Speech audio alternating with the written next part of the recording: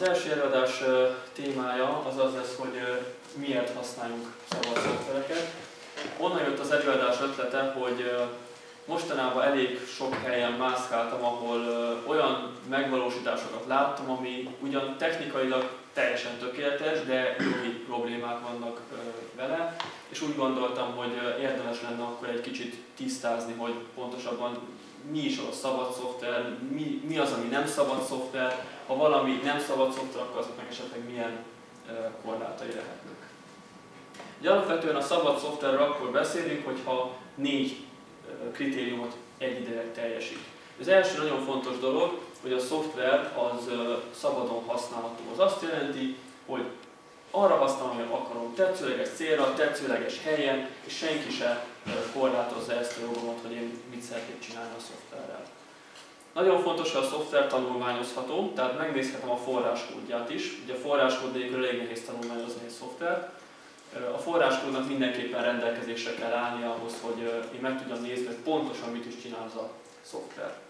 Ha valami nekem nem tetszik benne, akkor ki tudjam javítani, vagy át tudjam alakítani. Tehát mindenképpen a szoftvernek módosíthatónak kell lenni, és ezt nem csak technikailag, hanem jogilag, tehát a licensznek is meg kell engedni, illetve hogy én valami szépet csináltam vele, akkor ne tartsam magamnak, hanem megoszthassam másokkal, tehát a továbbterjeszthetőséget is mindenképpen biztosítania kell. Hogyha ez a négy feltétel teljesül, akkor mondjuk valamire, hogy a szabad szoftver. Na most általában, amiket így látni szoktam, megoldásokat, ott valamilyen feltétel ezek közül sérülni szokott. Hoztam egy jó kis példát. OpenStreetMap és Google térkép. Google térkép azért nincs itt, mert nem rakadtam oda. Ugyanis a Google térkép használata során ő nem jogosult arra, hogy másodat készítsen a tartalomról. Ez a Google térkép általános szerződési feltételeinek a 2 B pontja. Tehát az, hogy egy ugyanilyen képernyőképet kirakja ki a Google térképről, az nem szabad. Lehet, print screen is kész van, tehát technikailag minden talményekű meg lehet csinálni, csak erre a Google nem adott engedélyt. Az, hogy én beágyazom az ő térképét egy weboldalra, most kicsit technikai dolgos bemegyek egy iframe-be, akkor gyakorlatilag én nem tettem be az ő tartalmát, csak beraktam egy olyan keretet, ahol majd a Google szerveréről le fog töltődni a felhasználó gépére az adat. Tehát ehhez van jogunk, ahhoz, hogy erről én csináljak egy mentést, akár képernyőkép formájában, akár bármilyen formában, arra a Google nem adott engedélyt. Tehát amikor azt látom, hogy nagyon sok cégnek olyan a kapcsolati oldala a weboldalán, hogy egy Google térkép oldalak a print screen és rá van húzva egy nyíl, hogy itt vagyunk, azt nem szabad. OpenStreetMap-on megcsinálhatja. Ott nyugodtan azt csinál a térkép, amit akar, az egy szabad licensz alatt érhető el, de kereskedelmi forgalomban lévő térképekkel ez nem megoldás. A másik ilyen tipikus példa, amikor a irodai programcsomaggal vannak érdekességek. Például a tiszta szoftver program, amit most nagyon erőltetnek itt a, a állami ö, szférában. Ugye a tiszta szoftver az nem azt jelenti, hogy szabad szoftver. Óriási különbség van a kettő között. Megnéztem ezt az office.com oldalt, ami egyébként a ennek a terméknek a kereskedelmi weboldala, és a gyakori kérdésekben olyanokat találtam, hogy mennyi ideig használtam ezt a csomagot. Amíg el nem végzett iskolát, vagy amíg meg nem szűnik a tanuló jogviszonya. Ugye ez tipikusan egy ilyen uh, tanulóknak szánt licensz, amivel most itt mindenkit elárasztottak, hogy nyugodtan telepítsd 5 számítógépre és akár otthon nem kell érte fizetni, teljesen ingyen van használt. Csak azt nem mondják a hirdetésekben, a reklámokban, hogy ez addig van, amíg meg nem szűnik a tanuló jogviszonya. Megoszthatom ezt a csomagot másokkal? Kizárólag az egyes tanulók által licenszelhető és használható. Vagyis, hogyha egy ilyen tanulónak leül a testvére, apja, anyja, az illegális szoftver használó, ami hát 5-től 8 évig terjedő szabadságvesztés vagy hogy így van. Tehát a gondatlanságból elkövetett emberről is úgy tudom, az kisebb büntetési tétel, a, mint a illegális szoftver használat. Jó? Technikailag lehet, tehát a számítógép nem tesz különbséget, hogy most édesanyám ül ott, vagy én ülök ott, de még, de gyakorlatilag a licensz nem engedi meg azt, hogy, hogy más használja. Mit lehetnek a gyakori problémák? Ugye a felhasználást általában korlátozzák valamilyen valamilyen aspektusban, például, hogy, csak, hogy bizonyos célra nem használható az adott szoftver. Mondjuk egy példa erre, a, amikor még nem Linuxot használtam, hanem egy más kereskedelmi operációs rendszert, arra egy kedvenc vírusírtóm, az kikötötte, hogy csak és kizárólag otthon egy gépre telepíthetem fel. Tehát céges környezetben nem használható. Ennek ellenére nagyon sok cégnél látom, hogy használják. Mert a szoftver megint csak nem tud különbséget tenni, ez a számítógép, ez céges, vagy pedig nem céges. Bizonyos idő letelte után nem használható. Hát Total Commander-t azt szerintem Windowsoknak nem kell bemutatnom, ami egy 30 napos program, 30 nap után le kell törölni, meg kell vásárolni. 31. napon illegális szoftver használókká válnak, hogyha tovább használjuk azt a terméket. Bizonyos személyek nem használhatják, ugye erre láttunk példát az előbb ott a, a office.com oldalon. Nem tanulmányozható, tipikusan ezek zárt forrású szoftverek általában, amik, amik valamilyen megkötéssel rendelkeznek. Megkapod, megvetted, onnantól kezdve ezt úgy kell használni, ahogy van, és, és fogadd el, hogyha hibái vannak. Fórumokon szoktam ilyeneket látni, hogy kis hiba indítsd újra, nagy hiba telepítsd újra. Kb. ez a megoldás, amit lehet csinálni. Nem terjeszthető. Na hát erre megint csak a cégek nagyon, nagyon szép licenszfeltételeket tudnak írni. Például megint csak egy eléggé hányavetes sorsú böngészőről van szó, majd kitaláljátok, hogy melyikről beszélek. Ott például én azt adom valakinek egy pendrive-on, az illegális szoftverterjesztés. Ha azt mondom, hogy menj föl a valamilyen oldalra és töltsd le, az szabad. Mert a licensz az úgy szól, hogy, hogy én nem terjeszthetem, tehát csak a gyártó terjesztheti. Nem módosítható, de értelemszerűen, ha forráskód nincsen, akkor elég nehéz módosítani a, a szoftvert, tehát általában ezeket is meg szokták tiltani ugye kizárólag gyártóterjeszteti, erről beszéltem, nem tárolható, nem rögzíthető. Tehát vannak olyan szoftverek, amelyeket, amelyeket úgy lehet használni, hogy én nem tudom a saját adatomat tárolni benne, hanem azt ők tárolják. Ezek tipikusan ilyen felhős alkalmazások, ahol, ahol nincs lehetőségem arra, hogy egy másod készítsek az általam készített dokumentumról, képről, akármiről, amit éppen feltöltöttem illetve az elkészített adatok ugye nem férhetők hozzá számomra, csak ennek a szoftvernek a keretében. Tehát például valami előfizetésem van, és akkor amíg az előfizetés tart, addig igénybe vehetem azt, amit én csináltam, ha lejár az előfizetés, akkor még le se lehet tölteni. Tehát ilyenekkel is szoktam találkozni, és ugye ezt még lehet sorolni ezeket a korlátozásokat. Ha szabad szoftvereket használok, akkor gyakorlatilag ez így mind elfelejthető, ami itt van, mert uh, a szabad szoftverek azok pont, hogy azt teszik lehetővé azt a négy kritériumot, amit az előbb elmondtam. Hogyan lehet a szabad szoftverből pénzt keresni? Mert ugye az nagyon szép és jó, hogy szabad szoftverekkel dolgozunk, de hát a szabad szoftver magától nem készül, azt valakinek készítenie kell. Aki készíti, annak meg enni kell valamiből, boltban nem adnak zsömlét, hogy hol hogy bocsi, én szabad szoftverfejlesztő vagyok, én ingyen kérem a zsömlét. Tehát valamilyen üzleti modell kell, hogy legyen mögötte az a négy kritérium, amit az első dián mutattam, nem volt benne az, hogy nem árulható. Hoztam egy példát, ez majd a következő előadásban lesz egy érdekes dolog. Ez egy szabad szoftver, ami itt van. Csak csináltam neki egy szép kis tokot, illetve ott van benne a lemez, ez telepíthető Windowsra, Linuxra, Macintosra, sőt ez egy olyan extra kiadás, amiben még hangsávok is vannak, képernyőképek, meg mindenféle infojátékról. Ezt én árulhatom. Letöltöttem a netről, teljesen ingyen, csináltam neki egy ilyen szép kis tokot, és én ezt most itt árulhatom, azt mondhatom, hogy ez itt 2990 forint, bárki megveheti. Ezzel nem sértem meg a licenszt. Ha nem a terméket árulom, akkor tudok hozzá valamilyen szolgáltatást adni. Tehát például mondjuk egy van valamilyen program, amihez én vállalom azt, hogy támogatást nyújtok. Ha bárkinek bármi problémája van, itt egy telefonszám, hívjon fel, kimegyek, segítek, megoldom, tanácsot adok, persze ezért pénzt fogok kérni. Módosításokért lehet pénzt kérni. Tehát például van egy adott szoftver, hiányzik belőle egy funkció, valaki fizet érte, hogy én csináljam meg, mert neki arra szüksége van. Én ezért kérhetek pénzt a programozásért, ugyanúgy elkészítem neki a funkciót, ő kifizeti a munkámat, de attól az még szabad szoftver lesz, ő utána azt csinál vele, amit akar, és én is azt csinálok vele, amit akarok. Tehát nem tilthatjuk meg egymásnak, hogy oké, okay, megcsinálom neked, de nem adhatod a senkinek. Adathordozóra írásért lehet pénzt kérni.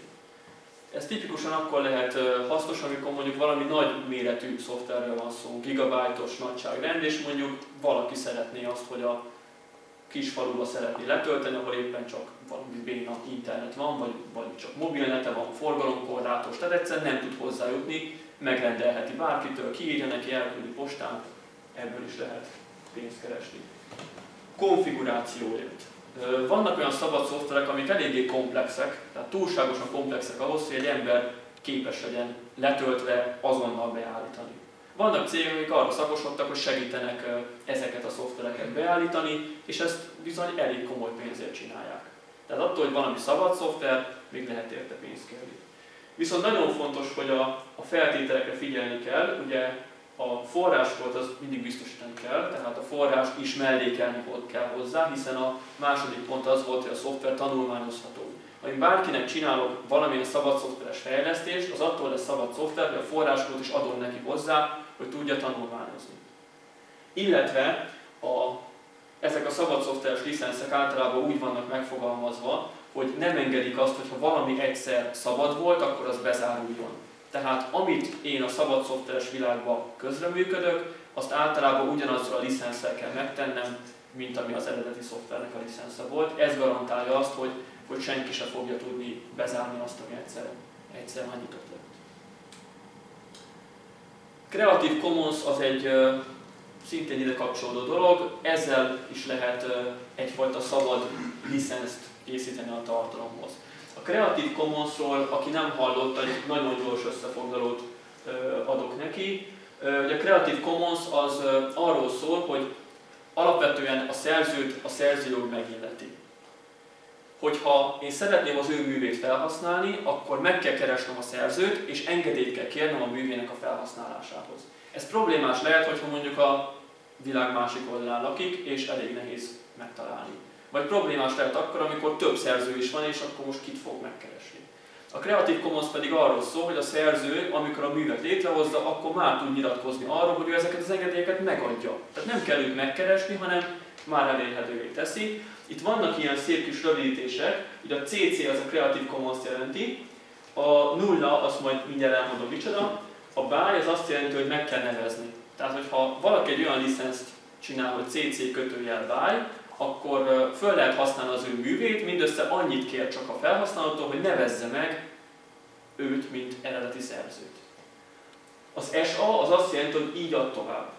Tehát, hogyha valaki csinál egy CC SA licenszt, akkor amit én csinálok az ő művéből, az ugyanúgy kell továbbadni, ugyanolyan licenszel, mint ahogy ő azt eredetileg közzétette. Az ND, illetve az NC, az viszont már sérti a a szabad licenszeket, ugyanis az ND az azt jelenti, hogy ne változtasd meg. Ugye ez pont a második pontot ö, sérti meg, hogy a, illetve a harmadik pontot, hogy a szoftver módosítható. Az NC pedig azt jelenti, hogy nem lehet kereskedelmi forgalom, forgalomba hozni. Sokan gondolkodnak úgy, hogy ha ő csinál valamit, akkor nehogy azt legyen, hogy abból más pénzt keres. És akkor olyan licenszel teszi közzé, hogy kereskedelmi célra nem használható. Ez nem szabad licensz, ugyanis a szabad gondolkodás azt mondja, hogy neked is jogod lett volna, hogy pénzt keressél vele, ha te erre nem voltál képes, akkor add meg a jogot másnak, hát ha ő lát benne. És akkor ezeknek bármilyen kombinációja lehet. Általában a Creative Commonsnál olyan licenszeket fogtok találni, mint amik itt fel vannak sorolva, tehát így össze lehet legózni ezt, hogy mit szeretnék és, és mit nem. Ha benne van az ND és az NC, akkor azt nem tekintjük szabad licensznek, a többit pedig szabad licensznek tekintjük, illetve van még az a CC0, ami azt jelenti, hogy gyakorlatilag közkincs, tehát hogy a, aki ezt megcsinálja, ő szinte lemond minden jogról, bárki azt csinál, amit akar, akár zárt forrású dolgot csinál belőle, akár, akár pénzért árulhatja, akár, akár módosíthatja, egy dolgot nem lehet, ezt a szerzőjog azt megint csak tiltja, hogy a sajátjaként tüntesse fel. Tehát ezt a szerzőjogi törvény tiltja. Miért érdemes a szabad szoftverek fejlesztésével bekapcsolódni?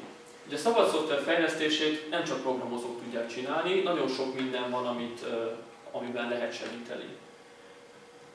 Nagyon erős közösség áll általában a szabad szoftverek mögött, tehát vannak olyan projektek, amik, amik felkapott, felkapottak, amelyek befutottak, és tényleg folyamatosan fejlesztik. Ha egy ilyen közösséghez csatlakozik az ember, akkor egyrészt nagyon sokat lehet belőle tanulni, másrészt, hogyha van egy olyan szoftver, ami nekem majdnem jó lenne, csak egy pici hiányzik belőle, akkor én belerakom az időmet, elkészítem azt a kicsi dolgot, hogy számomra tökéletes legyen, cserébe megkapom annak a több ezer vagy tízezer embernek a idejét, amit ők beleraktak a szoftverbe, és nekem már nem kell a nulláról megcsinálni azt a dolgot. Sokkal olcsóbb, ugyanis ha mondjuk én egy profitorientált cég lennék, aki szabad szoftverekben utazik, akkor nem nekem kell a fejlesztőimet fizetni, hanem a közösség megcsinál helyettem. Nekem csak annyit kell fizetni, az én emberemet csak azért kell fizetni, hogy tegye bele azt, amit a közösség még nem tett bele, és nekem szükségem van az üzleti modellemhez. Ezáltal ugye jobb lesz a szoftver, és maga a licensz pedig garantálja azt, hogy nem fog bezáródni. Tehát én akármit belerakok, nem mondhatom azt, hogy, hogy ez az én fejlesztésem, ezt nem adom oda, mert a licensz ezt, ezt egyértelműen, egyértelműen megmondja, hogy amit hozzáraktam, azt is ugyanaz a licenszel kell közzétenni. Megbízhatóbb, ugye azért megbízhatóbbak a szabad szoftverek, mert a forráskód az nyílt. Bárki megnézheti, hogy mit csinál, bárki megtalálhatja benne a hibát. Itt szokták általában azt mondani az emberek, hogy na jó, de hát nézzük meg, hogy milyen sebezhetőségeket találtak az elmúlt hónapban, évben a szabad szoftverekben. Igen, és mikor javították ki? Egy napon belül, vagy egy héten belül, vagy azonnal? Vagy mielőtt nyilvánosságra hozták volna a hibát, már meg volt a javítás? Tehát azért ne hasonlítsuk össze a kereskedelmi célú szoftverekkel, illetve a szabad szoftver az nem jelenti azt, hogy hibamentes, csak azt jelenti, hogy bárki megnézheti a forráskódot, tehát elvileg sokkal hamarabb kiderülnek a hibák. És ugye hosszú távon érdemesebb szabad szoftvert használni, bárkinek bármilyen területen, ugyanis nincs mögötte cég, aki kihátrálhat mögüle. Nincs mögötte cég, aki csődbe mehet. Ha mégis lenne mögötte cég, aki csődbe megy, ott a közösség, aki viheti tovább. Ha a közösség se viszi tovább, akkor meg ott a forráskód, és akkor, ha nagyon fontos az a szoftver, akkor fölveszel embereket és fejleszted tovább, ahogy, ahogy neked szükséged van rá. Illetve dicsőséget is lehet vele szerezni, ott én vagyok. Egy szoftver elkezdtem én is fejleszteni, egy szabad szoftvert, és hát kissé szándékosan vagy véletlenül, most mondhatnám azt, hogy teljesen véletlenül, én voltam az, aki az ezredik hibajavításba került ebbe a szoftverbe, és ennek a, a cégnek a egyik havi hírlevelébe engem így név szerint megemlítettek, hogy, hogy köszönjük szépen, hogy ezt így megcsináltam. Ez nekem jó, ezzel most már tudok bárkinek dicsekedni, hogy igen, én ezt elértem. Pénzt nem kaptam érte, viszont a szoftvert jobbá tettem, én jobban tudom használni, és még azért a nevemet is megemlítették. És akkor a személyes véleményem így a, a végére, hogy én miért javaslom azt bárkinek, hogy szabad szoftvereket használjon. Ugye egyrészt nem szabják meg, hogy mire használhatom. Tehát nekem az fontos, hogy ha van egy szoftverem, akkor ne kelljen itt a jogi dolgokat csűrni, csavarni, hogy igen, ezt nem szabad, meg ha így csinálom, az nem jó. Én azért szeretném azt a szoftvert használni, mert szükségem van rá. És arra akarom használni, amire szükségem van. Nem mondja meg senki, hogy mire használom. Ha nem tetszik, át lehet alakítani. Ott a forráskód, ki lehet belőle venni részeket, nem csak hozzáírni lehet, ki is lehet belőle törölni. Az se jó, hogyha egy szoftver túl sokat tud. Úgyhogy volt már arra példa, hogy nekem erre nincs szükségem, kiszedtem belőle. Csak erre van szükségem, sokkal egyszerűbb és sokkal átláthatóbb lett a szoftver. Az adataim biztonságban vannak, tehát én jobban bízom a szabad szoftverekben, mint hogyha valami zárt forrású programmal készítettem volna. Ki tudja, hogy abban mit írnak bele, ki tudja, hogy hova küldi el, ki tudja, hogy hol tárolja le. Én ilyenekkel nem akarok foglalkozni. Nem kötődök a vállalathoz. Párszor már pórul azzal, hogy volt egy, egy szoftver, amit én nagyon szerettem és használtam, és egyszer csak azt mondta a gyártó, hogy hát akkor ő ennek beszünteti az a használatát. Nem lesz hozzá tovább támogatás, és ez nem azt jelenti, hogy a meglévő verzió nem működik, hanem nem lesz hozzá újabb verzió. Ez alapvetően nem olyan nagy probléma, csak közben volt egy 32 bitről 64 bitre váltás, és 64 biten már nem érhető el. Innentől kezdve meg, oldjam meg, ahogy szeretném. Illetve volt olyan is, hogy az adott operációs rendszernek szűnt meg a támogatása, az új operációs rendszerre pedig nem adta ki a szoftvert, tehát eleve nem is tudom biztonságosan futtatni. Ha elakad, segít a közösség. Nagyon jó fórumok vannak, gyakorlatilag ezeknek a, a nagyon népszerű szabad szoftvereknek mindegyiknek olyan erős közössége van, hogy kérdezel valamit, és szinte azonnal segítenek. Vagy ha jól tudsz keresni, nem is kell kérdezni. Nem van neten, csak meg kell keresni megfelelő információt. Ha hozzájárulsz bármivel, azt megköszönik.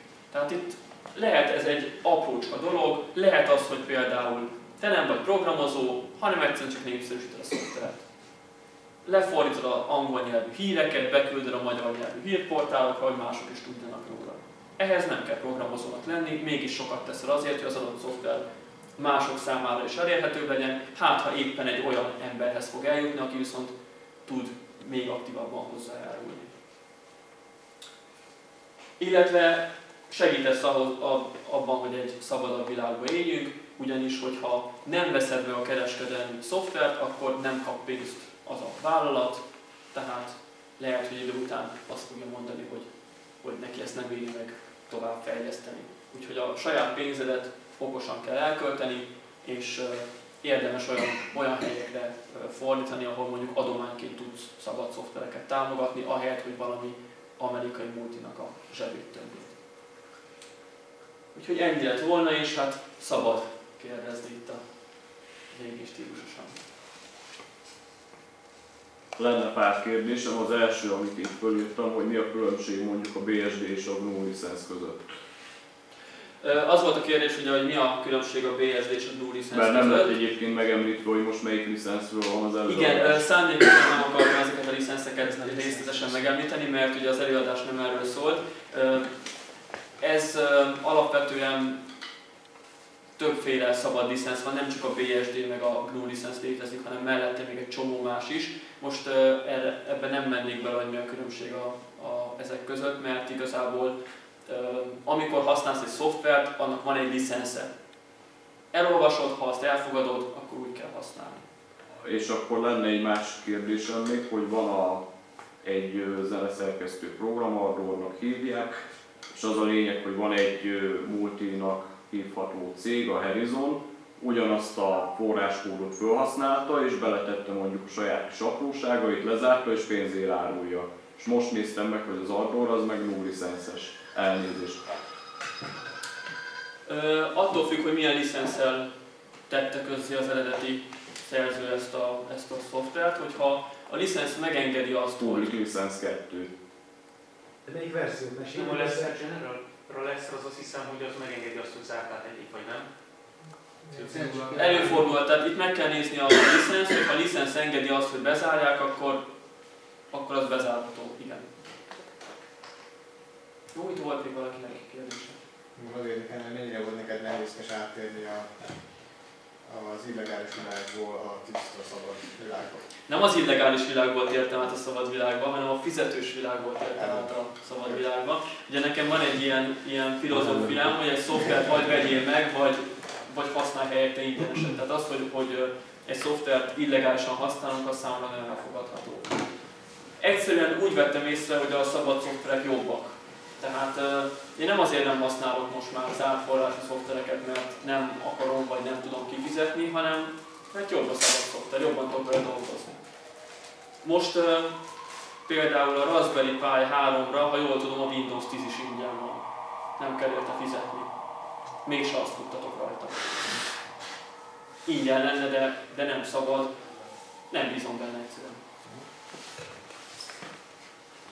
Egyszerű gyakorlati kérdésem, hogy Google Mapot mutogattad. Én, mint egy átlagos irodai felhasználó, én, én mikor olvasom el, vagy írom alá a szerződést, amikor begépelem a kis... Igen, ez nagyon jó volt a kérdés. Tehát az volt a kérdés, hogy a egyszerű felhasználó mikor ö, olvassa ezeket a szerződéseket. Hát például akkor, amikor regisztrálsz a szolgáltatásba, úgy kezdődik, hogy elfogadod, és ott van egy pipa.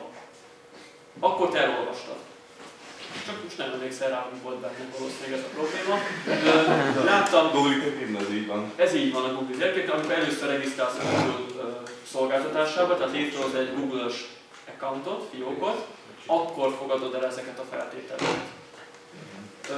Múltkor láttam egy szoftvernek a telepítőjét, ami úgy működött, hogy ugye általában ez a next next next finishes telepítő arról szól, hogy az első kérdés a licensz. Elfogadod vagy sem? Igen, nem. Ha igen, akkor mész tovább. És ez úgy volt megoldva, hogy nem csak a gombra kellett rányomni, hanem le kellett görgetni a licensz aljára, mert addig nem, nem ért a gomba, amíg a csúszkát le nem húztam az aljára, csak akkor lehetett leokézni. És amikor leokéztad, akkor följött egy ilyen ablak, hogy gratulálunk, hogy megdöntötte a gyors olvasás világrekordját, mert ennyi szót olvasott el 2,6 másodperc alatt. És igen, tehát attól még, hogy nem olvasod el, vagy nem emlékszel rá, attól te ezt még elfogadod. És itt jön az előnye az ilyen standard licenceknek, hogyha valaki csipél a V2 tudja fejből, mert olvasta, akkor nyugodt lelkismert nyomhat next gombra, mert ő tudja, hogy csipél a V2 miről szól. Viszont az ilyen proprietary vendorok viszont olyan szövegét tesznek, amit csak akarnak, és hardware békét nem fognak minden szoftverről olvasni, úgyhogy ennyi racionálisabb szabad szoftver használni, tényleg ezt 5-6 licencet megtanulni, ez reálisabb. Igen, hát ha valaki tudja a licensz fejből, és elé dobják, hogy akkor most egy GNU 2 licensz elfogadod de Persze elfogadom, tudom miről van benne szó. Ha jól emlékszem, hogy a LibreOffice telepítőjében van egy olyan licensz feltétel, ami talán kifér egy képernyőre. Tehát ilyen nagyon egyszerű és nem, nem kell görgetni órákon keresztül, hanem el tud olvasni tényleg egy képernyőre kifér bőven, és annól kezdve megérted, hogy mi van leírva. Én végigolvastam egyébként a kereskedelmi Office-nak is a licenszét, hát vannak benne érdekességek. Tehát ha valaki szeretné tudni, hogy mi mindent vállalt el, akkor érdemes elolvasni, illetve ö, egyszer telepítettem egy, egy ö, Windows 10-et valakinek, elolvastam telepítés előtt a licensz feltételeket, hát nincs az a pénz, hogy én azt felrakjam magamnak. Jó, köszönöm szépen, akkor most tartanánk egy kis... Még egy rövid észrevétel, hogy ha volt egy olyan diát, hogy lehet a szabad szoftverrel pénzt keresni, ugye? Volt. Ah, e, e, igen. Szóval, hogy akkor, hogyha ez így van, akkor miért állított szembe a szabad szoftvert a kereskedelmi szoftverrel, hiszen ez szabad szoftver is kereskedelmi felhasználás. Mi a kérdés pontosan? hogy ha szabad vele pénzt keresni, tehát kereskedelmi célra használni, akkor miért mondod azt, hogy a, van a szabad szoftver, meg van a kereskedelmi szoftver, mikor a szabad szoftver is kereskedelmi szoftver? Azért a szabad szoftver az lehet kereskedelmi szoftver, tehát nem kötelező ezeket megcsinálni, amik, amik uh, itt vannak. Ez csak lehetőség. Tehát lehet a szabad szoftverből is kereskedelmi szoftvert csinálni, de például, hogyha én mondjuk uh, ezt tegyük fel, valakinek eladom 2990 forintért, és ő ezt otthon lemásolja 60 példányba és szétszórja az ismerőseinek, nem sért vele semmilyen ö, licenszt. Ugyanis a licensz megengedi. Az, hogy nekem fizetett érte, köszönöm szépen, jól esett, de ő is letölthette volna az internetről ezt ingyen, és ugyanezt megtehette volna. Keresked, amit én kereskedelmi szoftvernek hívok, ott általában a licensz ezt nem teszi lehetővé. Tehát, ha én megvásároltam egy programot, akkor nem adhatom oda másnak.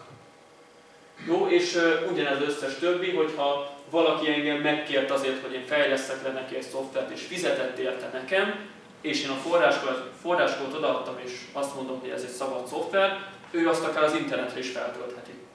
Tehát ezeket a jogokat nem tudom semmiképpen se elvenni tőle, hiszen rá ugyanúgy vonatkozik a, a licensz. Hú, jönnek itt a kérdések. Kommentem lett volna, Gábor arra szeretett volna célozni, hogy a angol proprietary szóra nincsen értelmes magyar alternatíva, ezért mondjuk mindig az, hogy kereskedelmi, mert a tulajdonosi szoftvert senki nem érti, hogy ez mit jelent. Igen, ha ez volt a kérdés, akkor uh-huh. igen. Mondtad, hogy a szabad szoftverek körül általában egészséges közösség van. Hogy azért érdemes megemlíteni szerintem itt, hogy nem minden szabad szoftver annyira nagyon szabad. Tehát, hogy a jogokat megkapom természetesen, de nem mindegyik körül van egészséges közösség.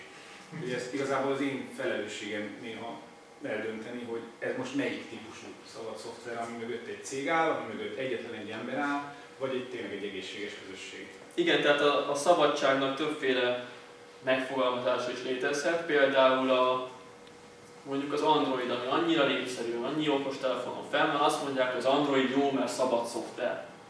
Ez így van. Amit a Google kiad Androidot, az bárki letöltheti, ténylegesen a szabad szoftver kritériumai teljesülnek rá, viszont abban nem szólhatsz bele, hogy a Google mit fejleszten. Tehát ott a fejlesztés zárt és irányított, ha te valamit beküldesz a Androidba, hogy figyelj Google, ez tök jó lenne, belekerülne, Google nyugodtan mondhatja azt, hogy de ez ellentétes az én érdekeimmel, nem kerül bele. És akkor innentől kezdve az nem lesz benne. Viszont, mikor kiadja az Androidnak a következő betűs változatát, akkor te nyugodtan berakhatod azt a dolgot, és te utána azt terjeszted, mint saját Android. Akkor köszönöm